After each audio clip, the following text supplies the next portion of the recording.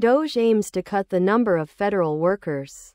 Here are the 20 highest paying federal jobs. Busine. SS Insider. Federal workers are at risk of losing their jobs under Musk's Doge. Business Insider looked at which jobs have the highest average salaries. Below are your comments. I work for the FBI as a Gov employee, non-management.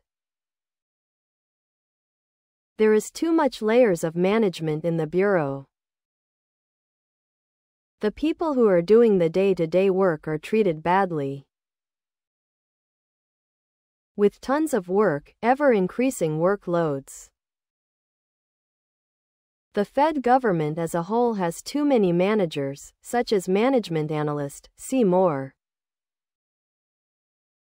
$140,000 salaries are not draining the coffers. It is excesses to contractor buddies that can't be traced once paid. And if they go bankrupt no accountability at all. But that is the whole purpose. The ones that get to me are the consultants. I know firsthand of one guy who pulls down $58,000 in a government pension, $8,000 for a disability pensy. On for what I have no idea.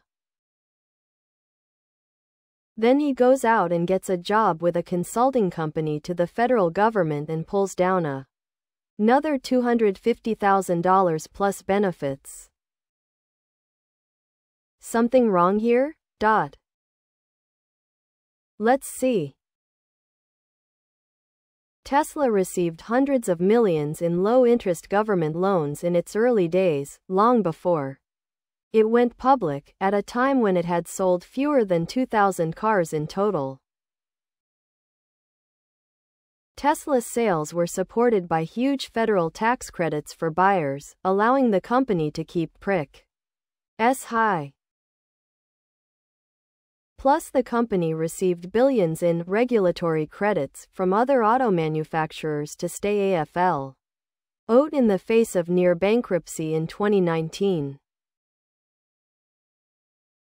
With all of that government support, Tesla now dominates the American EV market. 48%. And recently Musk has called for elimination of those federal tax credits, thereby tamping down Tesla's competition. His history suggests he wants to reduce the way government serves regular. If Elon and Vivek really want to cut federal spending, maybe they should end the practice of paying retired government officials and justices full pay after their retirement. That might save a buck or two. Please subscribe to my channel. And if you like it, please thumbs up.